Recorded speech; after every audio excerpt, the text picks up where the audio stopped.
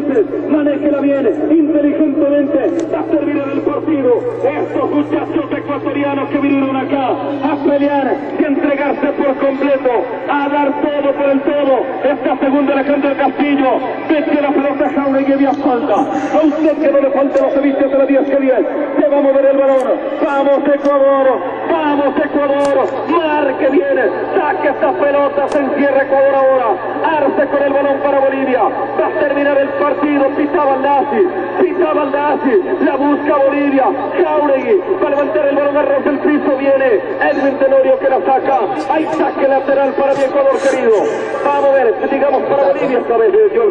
Se mueve Arce, Arce que viene por este, la a derecha, marcando Paula Pisadito, pero primero pisadito, va dominando viendo. esta vez hacia adelante para el. Es el Pibe, rápido, pues, más hacia rápido, atrás pues, para Edwin sí, con esto lo va acercando lo suavecito. Si quiere que lo intente, Ecuador, mire por ahí y ya sí. Déjalo. Ahorita la cojo. a Si quiere, cójala de una vez. el Pero el cuando abre el el el tiro, tercero, enfoca. viene el tercero, no puede ser en el palo, Ay. el no, como no, la mano cercana al bochita eso. Qué cosa sentir a marcar los goles y un tercero espectacular y va a ser un golazo, una obra magistral dentro de completa, hubiera hecho pelota que le ingresa el palo le niega la oportunidad al fin para consagrarse más No, y le pegó, era, así era. Ahí había que pegar. 48 minutos. Ah. Acá también le cogió la altura el reloj. Mueve la pelota para Méndez. Hacia atrás entregando para Ulises. Edwin Tenorio, vamos Edwin. Vamos Ecuador. Vamos tricolor. Vamos Ecuador querido. Va no saca- Ulises. Se viene ¿Sabes por? Díaz Acá. Pablo Galindo. Sacando esta pelota. Con un pie en el mundial. Eso sí se le Con un pie en Alemania. Estamos ya en la frontera. Ah, no, pero mejoró. Oh, claro, ahí se ve bien el. Terminó. Terminó. Si quiere, coja. El bocho cuando está Sigue el de Paraguay. Si quieres, lo. Vamos con Paraguay, ¿no? ¿Qué hemos salido? Aún no, bocha. Bolivia tiene uno. ¿Qué hubo la llamada, nada? Espectacular. ¿A Paraguay? Ah, no, yo ya. Para de marzo, vemos a ver, compita. Sí, deja cruce. Búscate ahí. ¿Será que está ahí en los.? Mírate ahí. Radio primero de marzo. Tiene uno. Ecuador demostrando jerarquía mundialista, jerarquía internacional, jerarquía futbolística. Estamos en la frontera. Por favor, nos regalen sonido para RCN Radio en Colombia, que muy amables. Estamos en la frontera de Alemania. Estamos en la frontera. Nos falta un puntito y en el Radio, mundial. por- la R. Nos falta un puntito y en el mundial. Fenomenal de Ecuador. Ecuador 2, Bolivia 1. Adelante David Lucero. Aquí en La Paz, aquí en el pecho del mundo. Gracias Andrés, estamos aquí en la parte baja, cerca del camerino selección ecuatoriana, ha ganado Ecuador, acá Hernando Siles de La Paz, dos goles ahora la selección boliviana, no se permitió el ingreso a la No, Chita, no está el número telefónico. ¿Qué otra radio allá? Primera de marzo. ¿Esa es la de Kessman? ¿La de Kessman cuál es? No, ese es Uruguay. Ah, Llamemos a Argentina entonces. A la red. A la red. La red. el estadio Hernando Siles de La Paz. Que nos regalen Doble como la les selección Sí, y nos mantenemos acá. en la zona del vestuario, no se nos permite ni siquiera el ingreso hacia el sector eh, de Camerino por donde eh, logramos al menos el martes anterior poder estar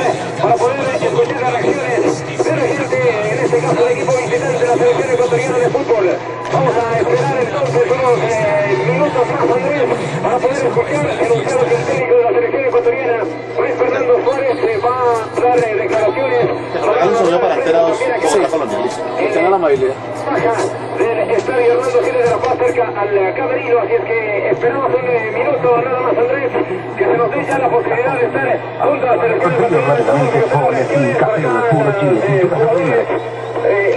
Chica le ha tenido el respeto y como que no ha sabido, no ha sabido pararse o no, ha- no, no le ha perdido el respeto a, a- a la inclemencia del tiempo, a las aguas que, que- que- que están aposadas en algún sector de la cancha y está siempre como pisando huevos así, ¿ah? a Rueda como que no se afirma en la cancha, Radio chilena, mira a ver qué identificamos ahí, ¿cierto? y, y eso se ha notado, porque del otro lado el Pato Almendra acostumbrado a jugar en canchas mucho más mala que esta, se siente pero jugando en un colchón de...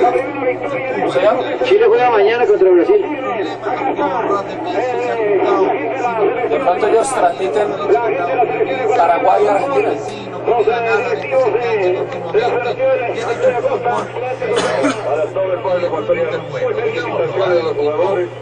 De López entregar este triunfo a todo el país, sobre todo ellos que no, que no nos querían. A ellos les dedicamos con mucho cariño. Muchas gracias, sí señor.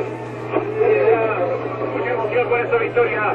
El, eh, acá está la gente de la selección. Vamos, un triunfo magnífico para Juan. Ahí está el triunfo de la selección ecuatoriana. De los dirigentes también del fútbol nacional han llegado acá a territorio boliviano para respaldar a la selección nacional. Estamos en expectativa de poder conversar con los jugadores. Se me fue el sonido. Con, eh, las declaraciones también que emitirá el eh, técnico Luis Fernando Suárez al mando de la selección nacional. Hoy sí se pudo. Reeditamos el triunfo de la eliminatoria pasada. Hoy con la selección ecuatoriana de fútbol. Vamos a escuchar a más gente de la selección, los dirigentes que por supuesto forman parte también de este conglomerado de jugadores, cuerpo técnico. Estamos ya a las puertas de Alemania 2006. Las clasificaciones que prácticamente es un hecho para la selección ecuatoriana de fútbol. Nos falta un puntito nada más. Un puntito contra la selección de Uruguay. Vamos a esperar acá. No se nos permite, lamentablemente. No se nos permite, lamentablemente. La situación es muy expedita, pero el tránsito entre distintos puntos de la ciudad obviamente tiene que hacerse solo mediante auto o taxi. Pero la comida, yo sé por qué la pregunta Ricardo Chávez está bien cara y le agradecemos su sugerencia de hacer dieta. Como siempre, Chávez se preocupa de la salud.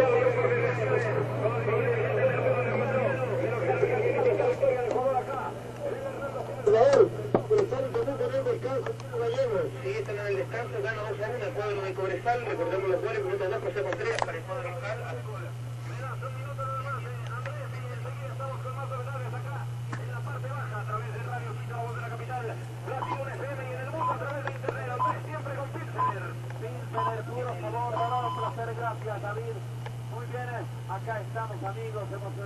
Las cuatro en punto en Colombia. Emoción ecuatoriana por la victoria en La Paz. Se prepararon para ganar y ganaron los ecuatorianos. 2 a 1 sobre Bolivia. Y el próximo partido será en La Paz. 7 u 8 de octubre. Enfrentará Ecuador a la selección uruguaya. Les queda un puntico por clasificarse matemáticamente hablando para el Mundial de Alemania 2006. Y hay un primer equipo eliminado ya. Matemáticamente no tiene ninguna opción. La selección de Bolivia, después de la derrota sufrida esta tarde en La Paz, se queda en el último lugar con 13 puntos. Argentina 31 primero. Brasil segundo eh, con 27 y tercero Ecuador con 26 puntos. Tiene 23 goles a favor y 19 en contra. Para más 4 en la diferencia de goles el equipo dirigido por Luis Fernando Suárez. Vamos a compensar, Pochito.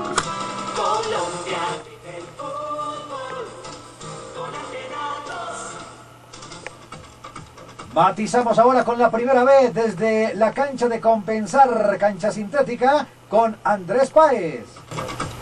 Minuto 13 del primer tiempo, Henry igualan 0 a 0 Academia y Bello Fútbol Club. La oportunidad más clara fue para el Bello. Se comportó muy bien el portero Mario Muñoz de Academia. Un par de contraataques del visitante del equipo Avellanita, siempre liderados por Juber Mosquera, un juvenil, pero bastante espigado y talentoso jugador. Están pasando una es que Cobresal. Igual con la pelota. No. ¿Qué demonios es eso? Cobresal es un equipo de edad. Con el Primeros Pares. 14 minutos ¿Pa' ya, qué? El juego muy parejito. Busquemos.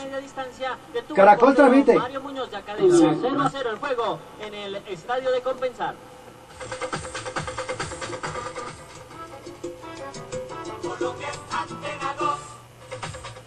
Seguimos con Radio Quito. Ya reacciones a lo ocurrido hoy en La Paz. La victoria contundente, seguramente las palabras de Luis Fernando Suárez, el técnico colombiano de Ecuador. sido protagonista, aunque veo repetir al concluir. En términos macro, sí es.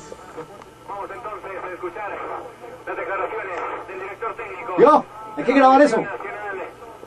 Mucha emoción por parte de, de todos eh, los ecuatorianos. Estamos acá en esta conferencia de prensa para escuchar las declaraciones del eh, director técnico de la selección nacional, Luis Fernando Suárez. Información de Radio Quito, la voz de la capital. ¿Me confirmas la señal nada más, Andrés? Y está en perfectas condiciones con Pilsener. sabor dorado placer. Siga, siga, está muy bien. Adelante, David. Perfecto, gracias Andrés. Continuamos. Acá se va a iniciar entonces la conferencia de prensa del director técnico de la selección ecuatoriana de fútbol, el colombiano Luis Fernando Suárez. Vamos a escuchar entonces a Luis Fernando Suárez. Se pone todo a punto, que la obligación no falle para que todo salga en óptimas condiciones. Con la alegría de haber conseguido esta victoria, la selección ecuatoriana de fútbol. Acá se está esperando que, que todo se ponga a punto nada más en un minuto. Luis Fernando Suárez junto a Pedro Mauricio Muñoz. Prensa de prensa de la selección ecuatoriana de balompié acá en el estadio Hernando Paz. Cuando la selección ecuatoriana de balompié. Dos goles a uno. Vamos a, escuchar entonces las declaraciones del director técnico de la selección ecuatoriana, Luis Fernando Suárez. Acá en la sala de prensa del estadio Hernando Siles de La Paz, información de Radio Quito, la voz de la capital. En los 760 de amplitud modulada, FM a nivel nacional y en el mundo www.elcomercio.com, link de Radio Quito. Muchos ecuatorianos que llegaron hasta La Paz y con rostros de emoción y felicidad por esta gran victoria de la selección ecuatoriana de fútbol. Acá dos tantos a uno con dos goles de Agustín Delgado. Dos golazos de la selección ecuatoriana para consagrar esta victoria de la selección nacional. Con un pie en el Mundial del Prix 2006. Acá tarda un poquito y en la organización. Ahí está el sonido. En la organización para poder poner a punto. ¿Yo he sonido nada? Ah, vamos a pedir la cadena básica del celular. Me piden que explique los micrófonos en la mesa. Respectivamente al. No. Que dice que si aquí hay Sky, que porque no buscamos el sonido por televisión. No, dígalo Porque Sky tiene Que porque condiciones. Sky también tiene emisora. Vamos a ver si, si ya inicia al menos esta conferencia de prensa La básica lo está transmitiendo.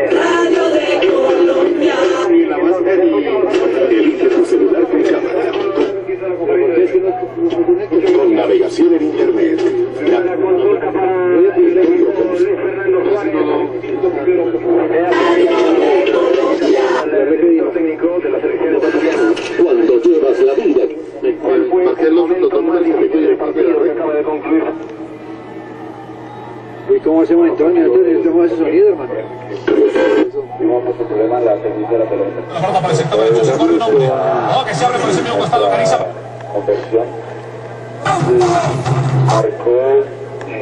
Davío y manchado, ¿por qué? Porque los esfuerzos han sido de otro sector de la cancha, en el medio campo. Ahí ha sostenido muy, pero muy